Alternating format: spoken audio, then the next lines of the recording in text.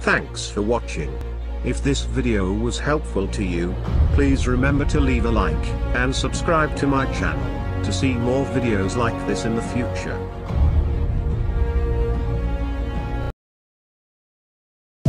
Not all TVs are the same. LCD TVs have to use backlights. But OLED pixels emit their own light. That's why only OLED bends and rolls. Only OLED is razor thin. Only OLED allows for perfect black and intense color. Some say LCD TVs are just as good. That's simply impossible. OLED creates a stunning picture. Other TVs are dull by comparison. Once you see OLED with your own eyes, you'll understand. There's nothing like an LG OLED television. See the light. Hey everybody, Caleb here, and today we're reviewing the LG C9 OLED. I know a lot of you have been eagerly anticipating this review. We're excited to do it, and don't you worry, we're also going to be comparing it to the LG C8 from last year. So first off, if you haven't seen our unboxing and basic setup video for this TV, definitely check that out. You can click the little link right up here. We go through all the basics of setup. We take a look at how the stand is different and some of the user interface differences. Today, we're gonna dig a little bit deeper. There's a lot different from last year's C8 OLED, and most of it is internal. So let's go through that real quick. Okay, so one of the biggest differences for this year, and this is big news for TVs in 2019 in general, LG has actually incorporated full spec HDMI 2.1. Now you video nerds out there know what that means. For those of you who don't, there's really two big features that come along with this new HDMI spec. Don't worry, you don't need new cables, but you are gonna need some new equipment to take advantage of most of it. The first thing that people are going to be excited with this new HDMI 2.1 is variable refresh rate. That brings this closer than ever to a computer monitor. So now we're looking at the possibility of this being a legit gaming monitor. When the new PS5 and the new Xbox come out, we expect them to support variable refresh rate. We do expect them to use HDMI 2.1, and that's going to allow all kinds of interactivity between the console and the TV. Most importantly though, you get that variable refresh rate, so everything always looks smooth smooth. The other part of HDMI 2.1 is eARC. Now, if you're familiar with ARC or audio return channel, that means you can connect, say, a soundbar or AV receiver to the TV, and it'll actually pipe the sound down through the HDMI cable to those audio pieces, and you can get TV sound out through your soundbar or big surround sound system. That's great. With eARC, everything gets bumped up several notches. So now you can get full-on Dolby Atmos uncompressed sound through HDMI 2.1 down to your devices. This makes the connection and interoperability of those devices way easier and it's going to sound a lot better. That's always been a pinch point for ARC. There's a few other things about the new eARC that you might want to know about and we have an article for that. You can find that in the link below. The last word on HDMI 2.1 is really this is built for the future. So it's going to allow all kinds of high bandwidth, super, super rich video to be passed through HDMI to the television. It really opens up a whole bunch of new stuff, none of which we have yet which speaks to the future proofing of this TV. You can buy this TV now and know that it's going to be able to take care of all kinds of new features in the future. The next important feature that is new for this year is LG's new Alpha 9 Gen 2 processor. So the processing, as we've discussed before, is the most important part for any TV. You can take a wonderful OLED panel like this, find it in another TV, and if the processing isn't as good, the picture quality is not going to be as good. So for the Alpha Gen 2 processor, it's doing a couple of key things that are brand new. The first is this deep learning AI stuff. So the idea there is that LG has used artificial intelligence to analyze a huge database of images. It gets really down to the pixel level so that it can understand it's looking at a bird right now or a dog. It knows a dog from a horse, from a cat, right? And then it knows that there are certain aspects of that animal that it's going to want to hone in on to clean up the picture. You know, a dog's nose tends to look a certain way. There's a certain amount of texture there. The fur, the hair, that's a lot of fine detail that you want to render correctly. And the reason that LG is doing this is because when you have a really pristine source like a USB file style that's very, very uncompressed and very pretty on its own, it's always gonna look great. It's gonna look great at the store, but when you get the TV home and you're using your 720p cable box, um, or maybe you're streaming at uh, low resolution rates. There's a lot of different aspects there. You've got over the air broadcast as well. That's a lot of variance in different quality, right? So the Alpha 9 Gen 2 processor attempts to take that image, no matter what the quality, no matter what the source, and make it look as good as it possibly can. One of the ways it does that is it very successfully eliminates banding. So say you're watching something on Netflix and there's a big wash of gray or blue. What you'll notice, especially in like sunset scenes, for instance, there's all these bands of color. And that's because it's a low bitrate signal. So LG takes its powerful processor, runs it through, and basically eliminates those kind of artifacts. And the end result is a very clean, pristine picture. Here's a feature that I was not expecting, but I'm really excited about. Okay, you know TVs sometimes have these brightness sensors where it tries to judge the room and how bright it is, and then it boosts the brightness of the TV to match. Or conversely, if you shut off the lights, then it reduces the brightness so it's not just beaming at you in a dark room. LG has a version of that that has been greatly improved. So instead of just raising the brightness or lowering the brightness depending on the room conditions, it actually alters the curve of the brightness. So it retains highlights uh, in HDR scenes. It maintains color saturation the way it needs to. It's not just moving the brightness, it's moving the whole picture settings, if you will, up or down so you get the best picture quality no matter what the ambient look is. Now, if you're a purist and you only watch this in a dark room, you can defeat that. But I think for a lot of people, who are worried about using this TV in a bright room, don't. It can get plenty bright and use that feature because it's gonna make sure you're getting the best picture quality you can no matter what's going on around you. Now, you know, OLEDs are thin. That's one of the greatest things about them. You don't have a backlight, there's no muss, no fuss in the back, but I swear, this is even thinner than last year's. The profile on this TV is absolutely stunning. Whether you wall mount it or put it on a stand, people are going to be amazed when they see it. It's even thinner than this LG V30 phone, and that's one of the thinner phones out there. Here's the problem with thin TVs. The thinner they are, the thinner they tend to sound. There's really not a whole lot of room for speakers. Here's what LG has done to address that problem. So they have built speakers into the base of the TV here, and they fire down into the stand, which sort of acts as a scoop or a waveguide to force the sound out towards you it works pretty well. There's not a whole lot of bass to the sound, but it is loud and clear without distortion. And that processor I was talking about before also processes the audio. So it's taking Dolby Atmos sound signals when it gets it and processing it so that you get a good approximation of what Dolby Atmos might be. It's not like you're gonna hear things swirling around you, but you do get a good sense of the movement of objects on the screen. It's a decent solution, but you can do better.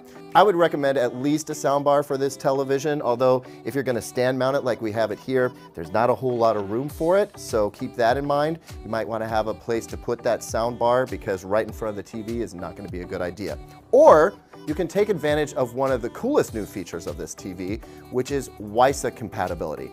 Now, it doesn't come with it built in, but you can add a dongle from LG that turns this into a wireless home theater giant basically buy a set of WiSA compatible speakers. Klipsch makes them, for instance, and I do believe they're gonna forge a partnership with Klipsch so that you can buy it all at the same time. These wireless speakers, you just plug them into the wall. It sets itself up and it sends the sound signal wirelessly, so you don't have to plug in speaker wires, you don't have to calibrate, it all just takes care of itself, and that's super exciting for home theater enthusiasts that are struggling with the idea of having a receiver and speaker wires and all that other mess. So that's the downside of this design, but otherwise, I really like it. I mean, first of all, this low slung look is super, super classy. Uh, this is a metal stand that uh, also feels really great and it serves its purpose well in that it keeps this uh, TV very, very steady. Uh, there's not a whole lot of room for wobble here. Okay, so let's look at the user experience, specifically with WebOS. You guys know I'm a fan, uh, but things have gotten even better. So first of all, you might notice that the uh, nav bar down here has gotten a little bit shorter. It's not taking up as much of the screen, and that's so it can pop this up. So anytime you uh, hover over an app like Netflix or Amazon Prime or even YouTube here, it'll pop up this second ribbon and give you suggested content or have you start from wherever you last watched. So for instance, Netflix, Um, I was watching Our Planet recently. I can go straight back to that if I want to, or I can pick something out of the trending now section. I can also switch a profile from right here as opposed to doing it directly in uh, Netflix, which shortens the distance between me and the content I want to watch. Now, it doesn't work for all apps. Uh, Hulu, for instance, it just doesn't work for that. Um, and I'm not sure to what degree it's going to work with uh, live TV apps like Sling TV and PlayStation Vue, but that's something that can always be developed. One other thing I like, uh, you can order these tiles as you want to by just clicking on them and then moving around. But a new feature that I think is really clever is this intelligent edit. So if you click on edit here, it's gonna take a look at the apps that you use the most and will automatically order them for you. Now, I personally like to order my stuff the way I want it, but I think this is great for people who don't even know how much they use various apps to kind of clear the clutter with one click. Here's another new addition. It's called the Home Dashboard. If we click this, this is a great place for you to sort of manage your TV. So you can manage your different inputs, rename them if you want to, put them in a different order. And here's another slick addition is the home IoT devices. So you can add your Ring doorbell, your smart locks, any your Amazon Echo speaker. All of this can be uh, added right in this area and accessed instantly. Um, it makes managing your IoT devices, your smart home devices, a whole lot easier. I covered this in our unboxing and basic setup video, but I do want to cover it here just in case you don't see that. You have a lot of options for a picture mode. Normally I would start at cinema, but that's not necessary here. Uh, there is a Technicolor Expert mode. Uh, this is fully customizable, but it is designed by the folks at Technicolor. Um, it's very similar to the cinema setting. And then you have ISF Expert Bright Room and Expert Dark Room. I think these two are the most valuable to people. Uh, if you're watching in a bright room and you don't want to have that adaptive brightness control on, like I talked about earlier, pick Bright Room uh, if you tend to watch during the day, and pick Dark Room when you're watching at night. Um, it's a subtle difference, but it's definitely very meaningful.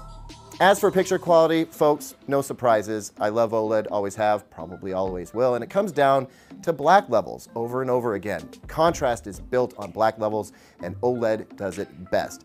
You really get amazing HDR performance out of this TV. It is plenty bright to do battle with almost any room, and it's always gonna look rich. The color, out of the box, fantastic. Those ISF and Technicolor modes really dial it in. Now you can hire a calibrator to make some very fine adjustments and get it to a spec that is right along lines with what Hollywood wants you to see when you're watching their content at home.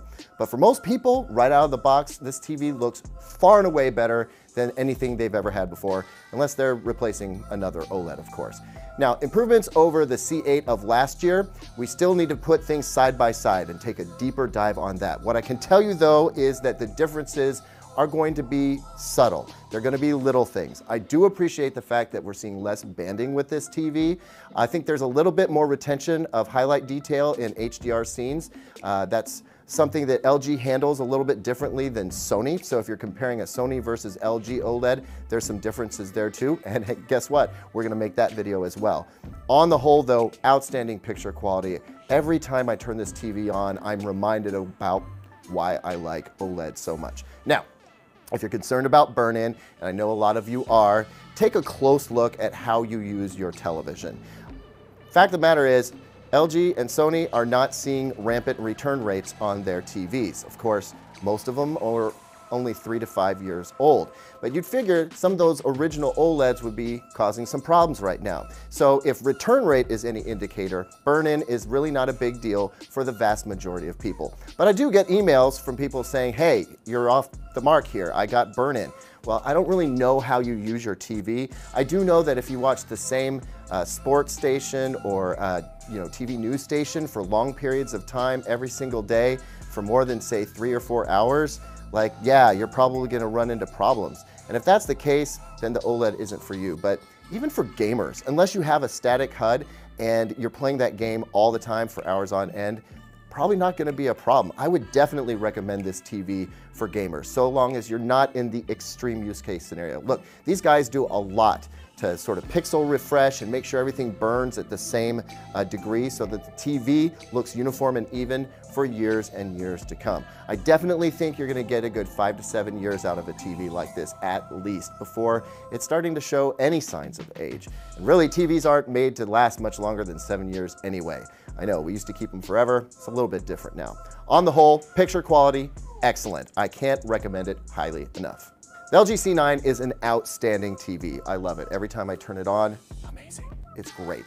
But how does this stack up against the LG C8? What are the core differences there? And should you buy the C8 since it's so much less expensive than this TV right here? Well, I would say it comes down to future proofing. If you really want the most future proof TV you can get right now, the LG C9 is it. It's got full spec HDMI 2.1, and with that comes eARC, and then you also get the variable refresh rate, which I think is a big deal to gamers. Then you get the more recent version of the Alpha 9 Gen 2 processor, which makes some subtle differences, but again, subtle can be meaningful, and it definitely is in this case. It cleans up the picture a little bit more, and the AI that's in the TV is designed to help you get to the content you want to watch faster and give you a better overall sound experience. The interface has been improved, so the WebOS is a little bit fancier than it was before. Old WebOS was great, this just happens to be a little bit better. And in terms of picture quality, we're looking at very comparable picture quality here. Uh, I think that there are some little improvements here. I also love the fact that LG is always letting you know that you're getting the best picture, whether you're getting Dolby Vision or Dolby Atmos or HDR or hybrid log gamma. I even saw that pop up while watching a YouTube video. It lets you know exactly what you're getting all the time, which is fantastic. So on the whole, outstanding television. I think LG knocked it out of the park. Once again, the LG C9 OLED TV is absolutely worth a look. And if you want the latest, the greatest, and the most future-proofed, this is the TV to get.